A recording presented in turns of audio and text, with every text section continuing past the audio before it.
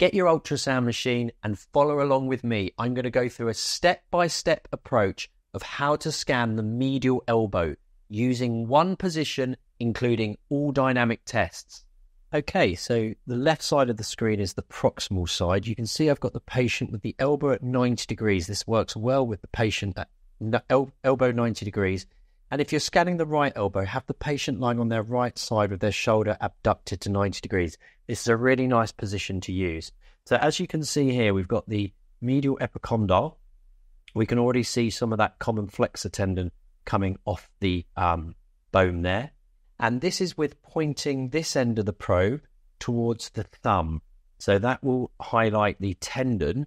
If we just fishtail the um, distal end of the probe towards the little finger, then what you can see quite nicely here is your ulnar collateral ligament coming over here. Now we can, this is why I like this position because we can do a valgus stress test. So we're just using the side of the plinth as a pivot point to get that valgus. So this is the joint here. This is the humeral ulnar joint. And you can see that space between the joint there. Now, if we get a nice picture of that ulnar collateral ligament, and there's the joint. So keep an eye on this as I do the valgus stress. And as I do the valgus stress on this case, can you see there's very little, if any, opening up of the joint, which means that it's intact.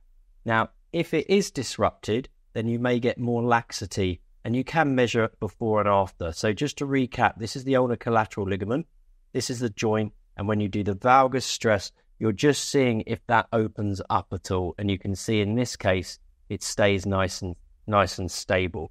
Now, you can also use this position for old, looking at your ulnar nerve. So this side here is the medial epicondyle.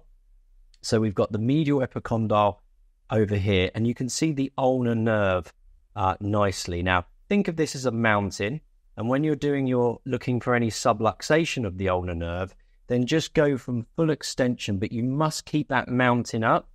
So you can see we're going into extension, and it's sitting nicely behind the um, uh, mountain there. And then as you go into elbow flexion, it will ride up. Can you see that? So it's starting to ride up the mountain, but what you're looking for is whether or not it goes over the mountain. You also want to know whether it goes over the mountain and then subluxes back, or does it actually dislocate over the other side of the mountain? Make sure you do go into full flexion. If you lose the medial epicondyle, like I'm doing a little bit there, you just need to fishtail the distal end of the probe to keep it there. And I would advise going into full flexion because you can see there it's getting to the top of the mountain, but it's not going over it. So this is normal. And just remember, if you do see it going over the mountain, you do see that in asymptomatics. It doesn't always mean it's a problem. Did you find that video useful? If you did, don't worry, we've got loads more videos for you. You can like our videos, you can make a comment, you can subscribe to our channel to get all of our new videos, and you can even join our membership. Good luck scanning.